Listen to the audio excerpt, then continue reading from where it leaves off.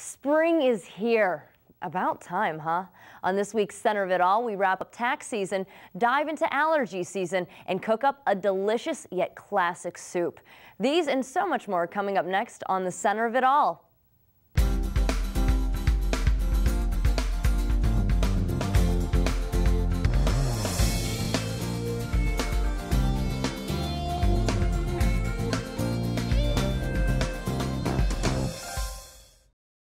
Welcome to another Centre of It All. Thank you so much for joining. I'm your host, Alex Rabb.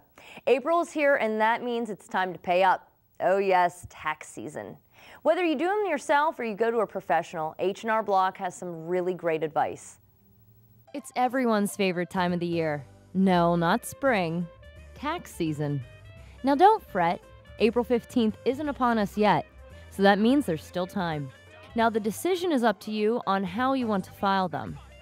There are free programs online, professional programs you can still do at home, or you can go and see a professional face to face. Tom Kirsch, a H&R Block franchise owner in State College, is confident that your worries will leave you if you walk into his branch. There's a good reason for it, too. This is what H&R Block does. We, we do taxes 12 months out of the year. Um, our employees are training almost the whole time that they're outside of tax season, getting prepared for the next tax season. So we're able to handle many different situations. So what records should you keep? Any expense that you want to claim on your tax return, you need to keep those receipts. Anything that verifies just about anything that will be claimed on the return, whether it be a credit or a deduction, um, you need to keep those um, not only for the tax preparation, but in case the IRS wants to look at your return at a later time. The at-home computer programs have step-by-step -step instructions on what to do, but at H&R Block, the process is easy as well. If they're a first-time filer, we ask them to bring in a copy of last year's return if they had filed last year, because sometimes there's information that needs to come off of that return to go on to the new return. Um, if they have all their information with them, all their W-2s and their 1099s and anything else we need to prepare their return, we can do an interview with the client, complete the return, have them sign all the papers, and they can walk out with a completed tax return. So remember to keep your tax returns from the last three years. Have them into the IRS by April 15th. It doesn't have to be scary or confusing, as there's a lot of help out there. Happy filing! Our Andrew Callisto went over to Penn State's Educational Gaming Commons Lab to unlock some knowledge on how video games can be more than just fun. The history of video games dates all the way back to the 1940s. And since Atari hit it big in 1977, parents all over have been telling us that we should be doing our homework and video games will rot our brains out. But that is not the case in the EGC lab here at Penn State, where games are taking education in a whole new direction.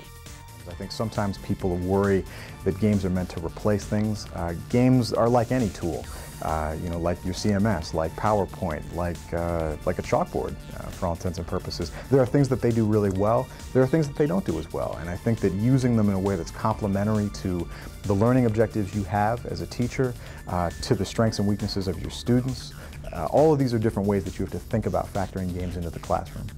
Chris Stubbs, project manager of the Educational Gaming Commons, says it was no easy task convincing scholars that games have a great value. The general sentiment among faculty has sort of gotten more and more open to the idea of using games. I think when we started there was a lot of skepticism, a lot of hesitation, and rightfully so. It was a new technology, a new idea uh, for a lot of people. But I think over time, we've seen people open up more and more to it.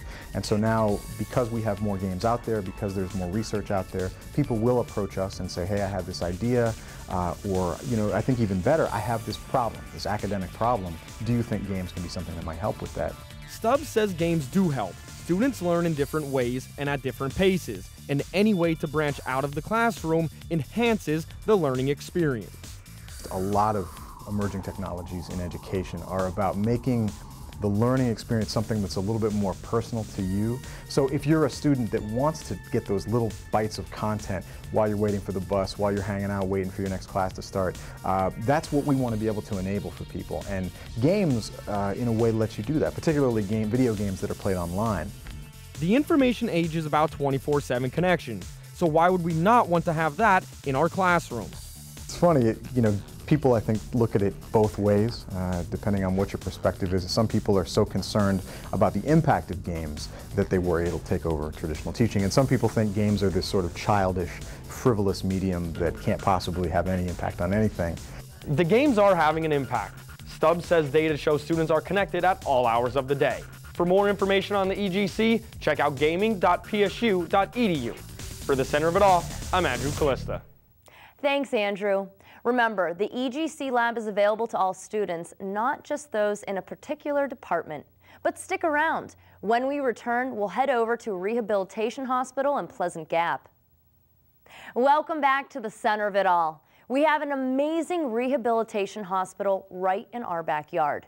I went over to HealthSouth Nittany Valley Rehabilitation Hospital to see exactly what they had to offer. You may have heard of HealthSouth Nittany Valley Rehabilitation Hospital. It's a higher level of care in comparison to any other rehabilitation service in the community. Within their 100 mile radius, they cover around five counties and some outlying areas. The majority of our patients do come from acute care hospitals in our territory or bordering territories. Um, for instance, our largest referral source is our local hospital, Mount Nittany Health, and we um, also receive patients from outlying territories. It could be as far as Philadelphia and Pittsburgh. Patients as young as teenagers and as old as centurions can also come from home if any rehab service is needed. We have regis certified registered rehabilitation nurses, um, technical staff, then um, the therapy staff is physical therapists, occupational therapists, speech pathology. We also have a psychologist on staff, registered dietitians, uh, pharmacy.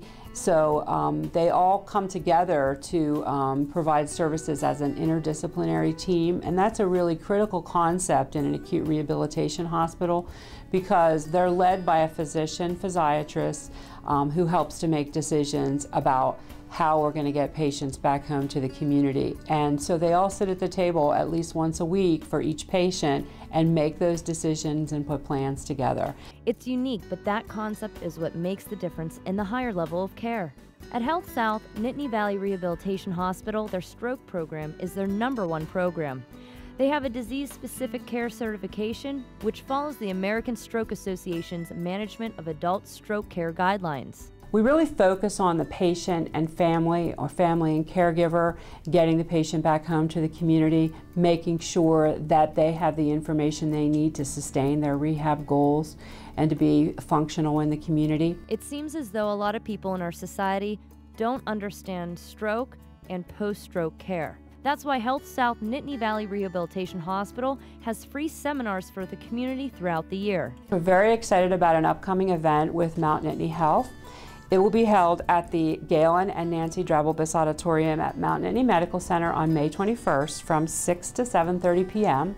Dr. Pete Roy will be presenting about how to recognize and act on signs of a stroke quickly. No matter what degree of medical service the patient needs, HealthSouth can help. Patients that come to our hospital are required by Medicare to, to participate in at least three hours of rehabilitation a day. And that's usually combination therapy, um, usually um, a combination of PT, OT, and speech therapy. Um, patients um, will participate in all three therapies throughout the day, um, allowing time um, for rest and um, care and attention to medical needs. HealthSouth as a corporation gives out the National President's Circle Award to the CEOs who are operating at the top hospitals in the company. It is based on outcomes. The Department of Health also presented them with the state's first award for excellence in healthcare compliance. And there's more. HealthSouth Nittany Valley Rehabilitation Hospital ended 2012 um, actually uh, number eight out of the 100 hospital system. And one of the other recognitions that we received for 2012 was um, a top 10% recognition for the Uniform Data System for Medical Rehabilitation. That is the database that we use to report our outcomes to Medicare. And um, there's 787 hospitals um, throughout the nation in that database. So we are in the top 10%. Um, and have been for three consecutive years. HealthSouth Nittany Valley Rehabilitation Hospital has amputee, better breathers, brain injury, heart failure, multiple sclerosis, and stroke support groups as well. They deserve every award and recognition that they receive by continuing to be one of the best higher level of care rehabilitation hospitals in our area. Remember that if you find yourself or a loved one in need of rehab, you have to go out and evaluate the programs and find what's best for you. HealthSouth Nittany Valley Rehabilitation Hospital may be the place you need. Visit nittanyvalleyrehab.com for more information. Now we have to take another break, but we'll head right into the kitchen with our resident foodie, Mel Preschutti. Hello, I'm Alex Rabb. I'm excited for our kitchen encounters. Mel Preschutti shows us how to make a creamy tomato soup along with baked bagel chips. Let's go.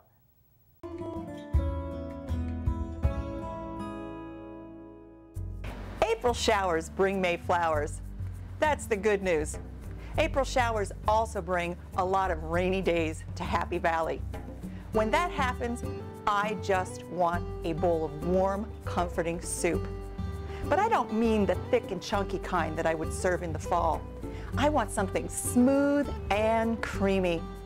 Today, I'm going to be making my sweet and smoky cream of roasted tomato soup, and I'm going to be serving it with some parsley, pepper, and Parmesan bagel crisps. Let's get started.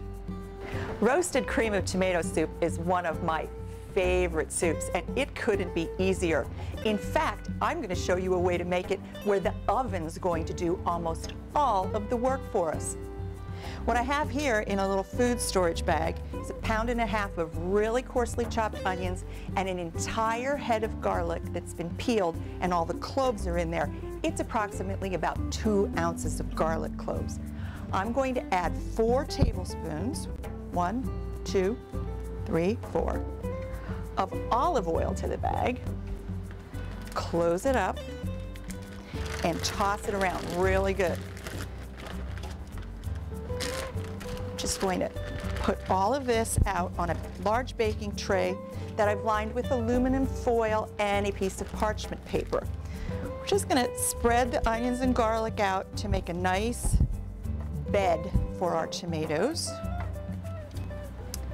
Now I'm going to put 10 sprigs of fresh thyme. The smell of fresh thyme is absolutely wonderful and it's available in our markets all year round. But if you really can't find it, do not be afraid to sprinkle this lightly with some dried thyme leaves. It'll all come out. A little bit of salt, lightly season it. I'm using sea salt and a really nice cracked black peppercorn blend. That's cracked black peppercorn blend.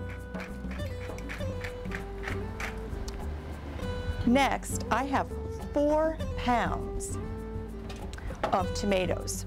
And I'm just gonna quickly, I'm not gonna dump these on the pan because I just wanna make sure that all of the tomatoes are on the bed and I want them facing upward, meaning skin side down so that the skins hold all of the juices as the tomatoes roast. Now I'm going to take four more tablespoons of olive oil and just lightly drizzle the top of the tomatoes. A little more salt. A little more peppercorn blend. And my secret ingredient, four tablespoons dark brown sugar sprinkled over the top is going to caramelize these with a really sweet flavor.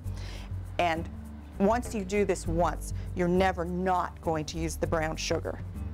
I'm going to pop these in a 375 degree oven for an hour and a half just until the tops of these tomatoes are caramelized and they've got a little bit of a char to them. While my tomatoes are in the oven roasting, I'm going to prepare my bagel chips. And I have one rule about making bagel chips. Four. What do I mean by four? Well, first of all, your bagels need to be old, three to four days old. When I know I'm making bagel chips, I often buy a bag of them and stick them in the refrigerator for a few days. And if you have a bagel that's been around for two or three days, use it to make a bagel chip. And another part about four. What I want to do is slice my bagel into four discs, about a quarter of an inch thick. If you slice them into five, what's going to happen is they're going to burn before they crisp. So all we want to do, perfect size for dipping, dolloping, slathering. To make our spread for the tops of our bagels, I have one stick of butter and it's past room temperature. It's really, really soft. I'm adding a teaspoon of parsley flakes, a half teaspoon of garlic powder, and a half teaspoon of coarse black pepper. Just gonna take an ordinary spoon, stir this all together.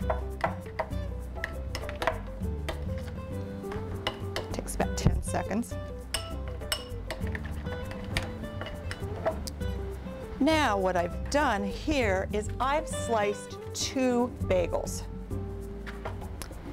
And all I'm going to do is start buttering the tops of each one of these.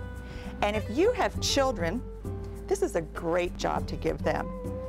Just each piece at a time.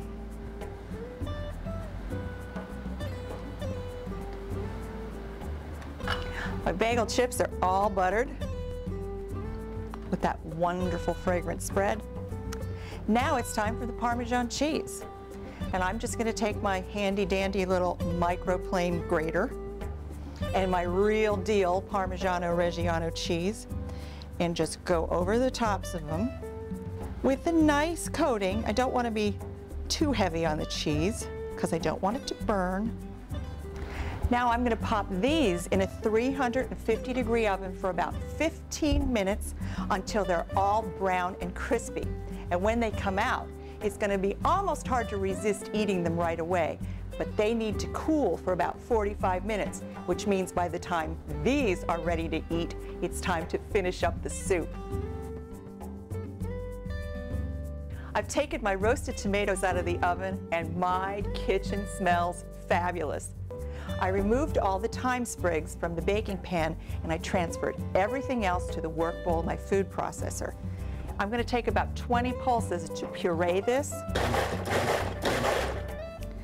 Now what I'm going to do, I'm going to remove the lid from my food processor. What I'm going to add is a half a cup of cream and my secret ingredient three quarters of a teaspoon of smoked paprika. Put the lid back on my food processor, and now I'm gonna cook about 10 to 15 seconds.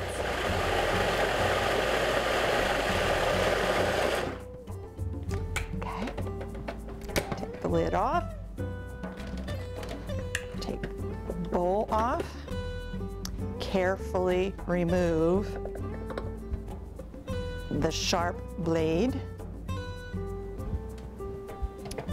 And I'm gonna transfer all of this. Oh, God, that smells so good. All of this. I'm going to add three cups of chicken stock. I'm just gonna put this on the stove top and bring it to a simmer and cook it for about five minutes, and it's time to eat.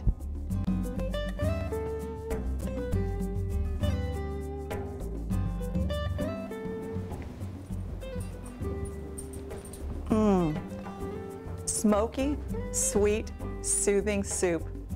Crispy, crunchy bagel chips. Bring on the raindrops. For these and all of my recipes, just go to my website.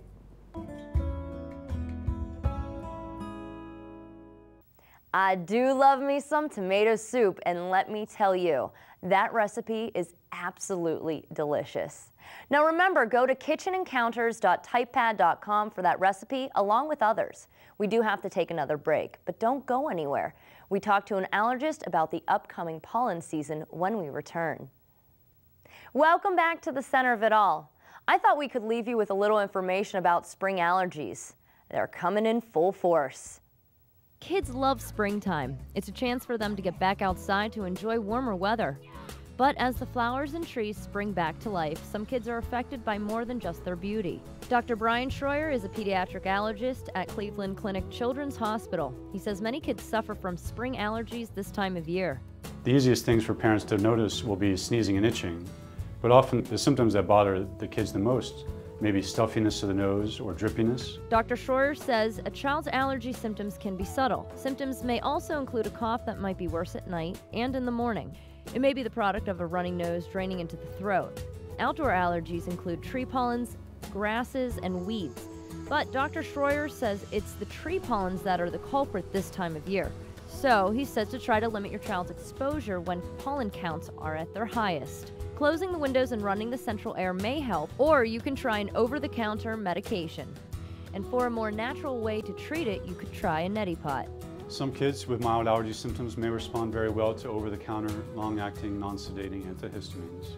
So that's loratadine, cetirizine, or fexofenadine, all of which come in kids' formulations and are indicated down to very young ages. Dr. Schroer says if the over-the-counter antihistamines don't work, you should talk to your pediatrician. Well, best of luck if you have, nope, due to take three. Three, two. Well, best of luck if you have allergies. I'm developing seasonal ones, and that's no fun. That's the show. I hope you enjoyed it. Now remember to like us on Facebook and follow us on Twitter and YouTube. Have a wonderful rest of your weekend.